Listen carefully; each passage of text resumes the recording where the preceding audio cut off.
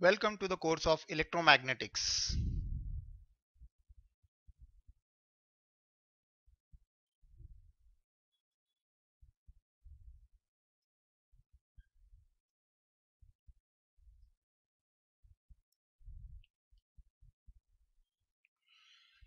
Okay, so in this course we are going to see the following contents.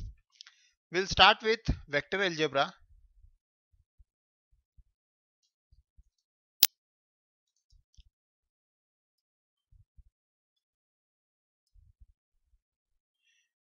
This will this would be the first portion and this will form the basis to study the electromagnetics. Then we will study the electrostatics.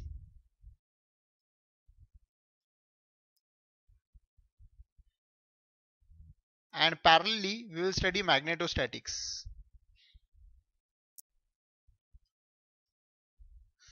Afterwards, we will combine both of them and we will study EM waves.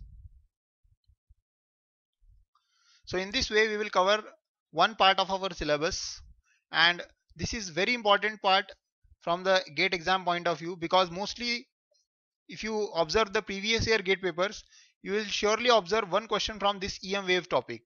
This topic covers at least one question in eh, in every year's paper. So please pay special attention towards EM waves. And the questions would be very easy. So this is one part of our syllabus. Then we will go for transmission lines.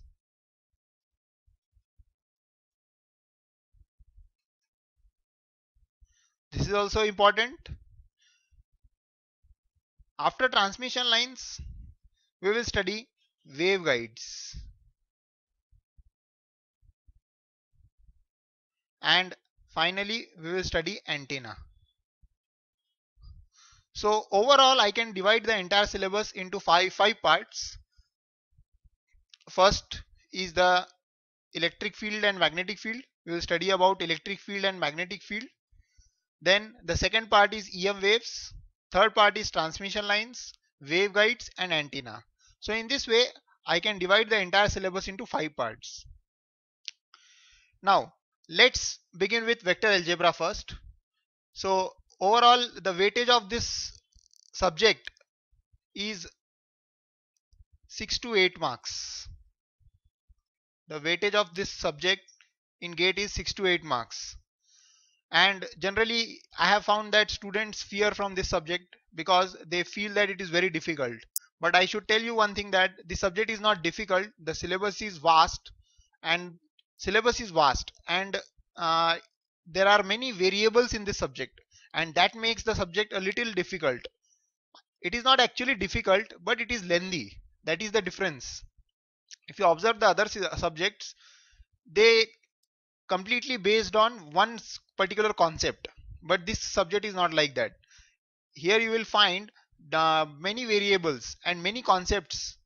So therefore the subject is lengthy and the questions which are being asked in gate they are not that difficult. They are really very easy. Once you know the concepts you can easily go for the questions of electromagnetics.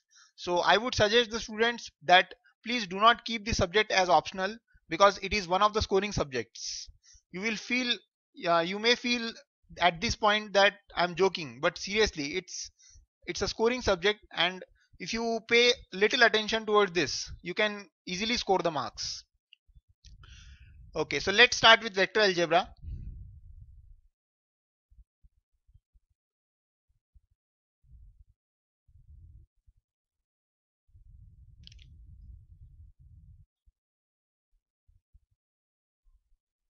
So without studying vectors one cannot imagine to study electromagnetics because it is very difficult to understand the physical significance of the terms which are there in electromagnetics. So please study the vectors vector algebra carefully first and then go for the electromagnetics. Now in vectors we have to study the coordinate system. So what is what are coordinate systems? Coordinate systems are just a mean to locate a point in space. So there are there are different ways to locate a point in space. So every point in space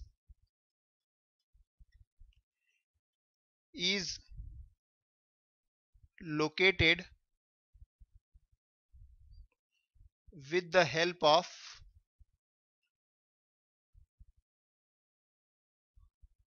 coordinate systems.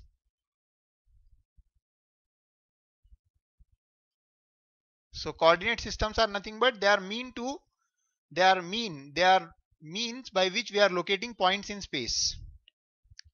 There are three types of coordinate systems. First is Cartesian coordinate system.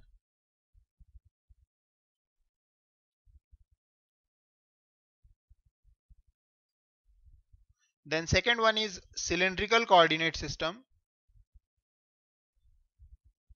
And the third one is spherical coordinate system. So these are the three co coordinate systems which are there. Spherical coordinate system.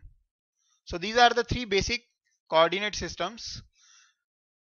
All the students might be familiar with Cartesian coordinate systems because uh, everywhere in mathematics also we generally come across Cartesian coordinate systems.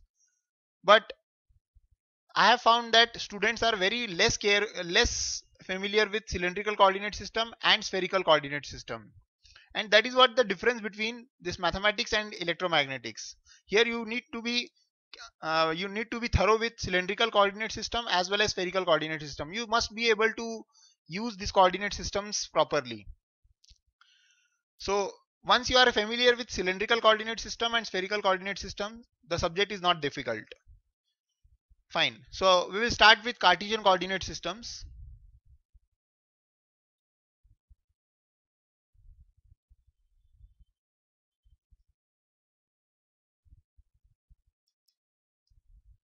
Cartesian coordinate system.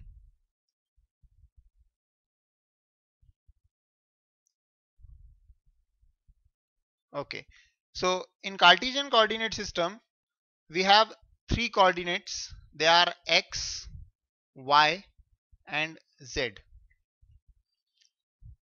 So any point in the space can be located with the help of x, y, z coordinates.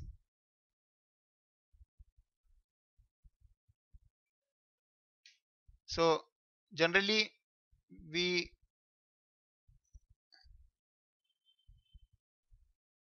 draw them like this x y z. All the three axes are perpendicular to each other. So the coordinates used in Cartesian coordinate system are x y z. And they varies from minus infinity to plus infinity. So x varies from minus infinity to plus infinity. Then y also varies from minus infinity to plus infinity. And z also varies from minus infinity to plus infinity. So all the x, y, z varies from minus infinity to plus infinity. They can vary from minus infinity to plus infinity. Now, if I have to locate a point in space, suppose this is a point P. So its coordinates will be x, y and z. That means you have to travel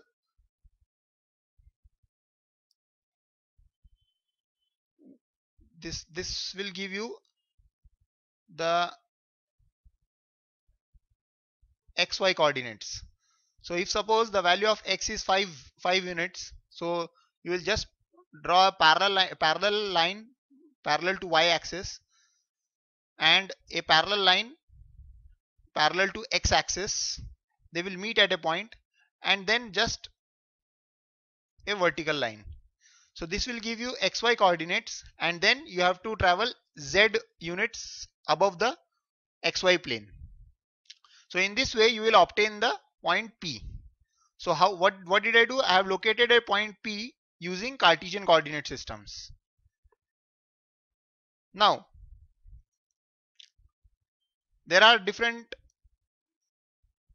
unit vectors which we use. So for x we use ax vector, for y we use ay vector. And for z we use az vectors. These are the unit vectors along x, y and z directions. here itself I should tell you one point that all the coordinate systems are right handed that means if I take x y and z so if I take the cross product of two I'll get automatically the third one that means if I take the cross product of ax vector cross ay vector I'll get az vector. If I take the cross product of ay vector cross ax vector I'll get sorry az vector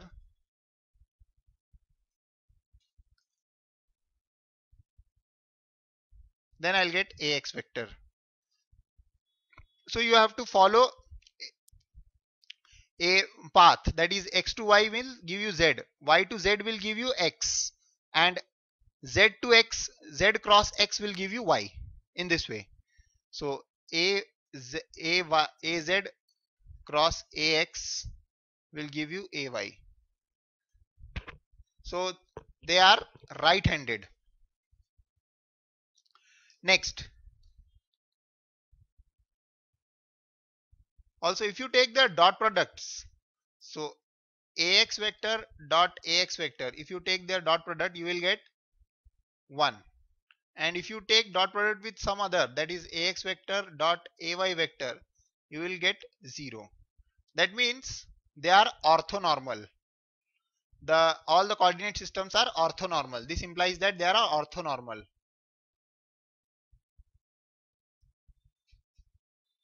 This implies they are orthonormal and this implies they are orthogonal. So all the coordinate systems are orthonormal as well as orthogonal. Now one important point regarding the surfaces. For example, if I consider the axis which I have drawn earlier, this diagram, and if I consider a surface suppose this is a surface. For this surface the value of z is constant. That is this is a z constant surface. For this surface z is constant.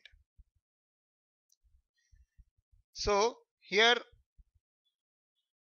this will vary this is dx. That means there will be a variation in x direction as well as there is a variation in y direction. So this is dx and this is dy and its direction will be in the z. So it will be in az direction. So what I am trying to tell you here is that for z constant surface you have x variable y variable and the direction of the surface is in the z direction itself. Similarly if you consider a surface in y constant plane suppose this is a surface whose y is constant. So for this y constant. So this is a y constant surface. So for y constant surface you have the variation in z that is dz and you have the variation in x. So you have dx. Similarly for the x x constant surface. So in general I can write surfaces. So in general I can write ds. In general I can write ds vector as dsn vector is equal to ds into an vector where n is nothing but normal vector. For example if I take consider z constant surface then an will be az vector. Okay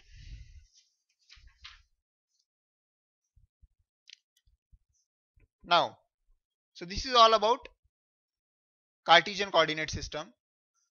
Now, let us look at differential length. These are important. We have to find the differential length, differential volume and differential surface for each and every coordinate system. So, differential length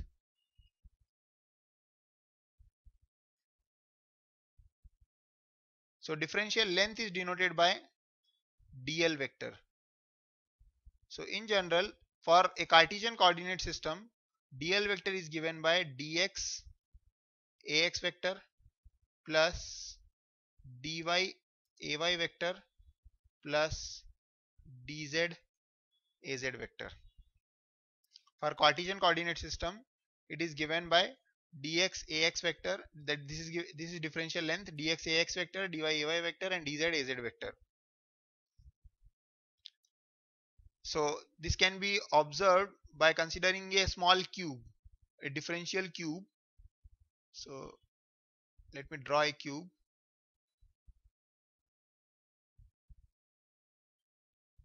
So this is a cube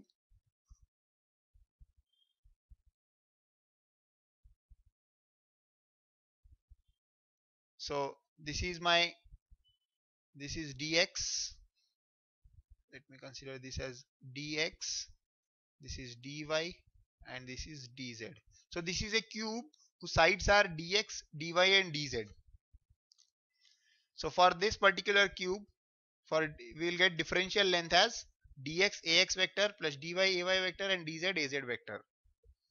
Next we will consider differential volume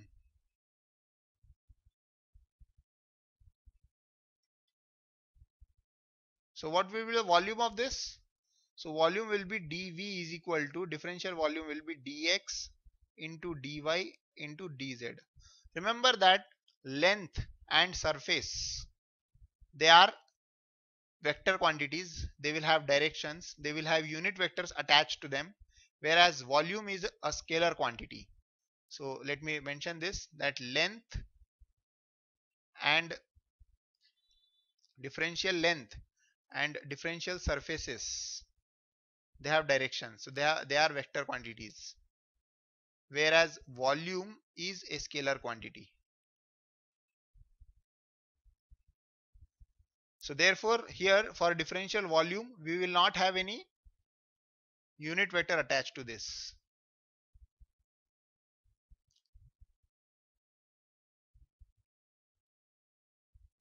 Fine Next we will consider differential surfaces.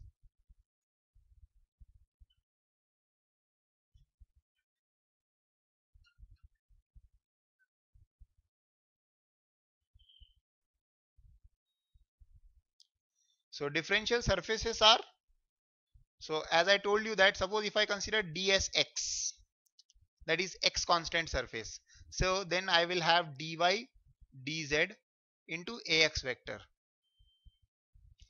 if I consider dsy so this is vector quantity so you have to put a vector symbol. If I consider a y constant surface then I will have dz dx into ay vector. And ds is given by dx dy az vector